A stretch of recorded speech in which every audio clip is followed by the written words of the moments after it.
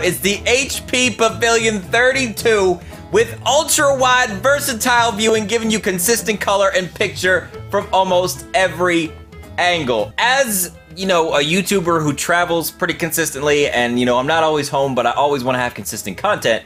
It's important for me to always have my laptop with. Then sometimes if I'm at home, I feel like sitting on the couch editing and stuff, it's hard to edit solely on a laptop. I like to have a big screen uh, so I can see what I'm doing. I know where my cuts are. I know that the video looks good and that the quality is flawless. So the HP Pavilion 32 is going to give me 32 inches of 2560 by 1440 quad HD display. 10 million to 1 dynamic contrast ratio, two HDMI inputs, a display port, plus a USB 2.0 hub right on the back of the monitor, and of course, LED backlighting making all those colors and shadows and images pop out to the extreme. The stand is also very, very easy to install. You don't have to worry about a million different screws and this and that. You literally just slide it in, make a couple adjustments, and you can have your monitor set up exactly as you like it. All right, now that everything is out of the box, it's set up, it's propped up, it looks amazing, I'm gonna take out my MacBook Pro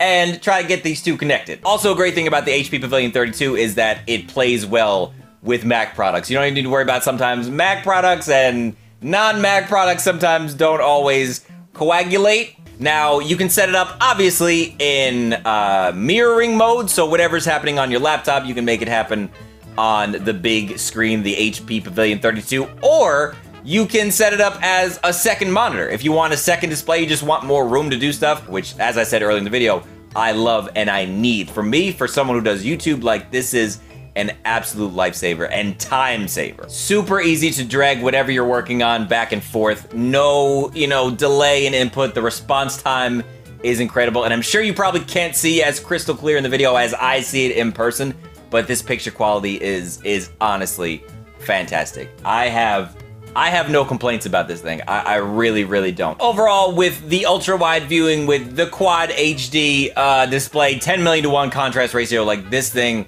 this thing is a beast, and it's it's it's a pretty damn sexy looking beast.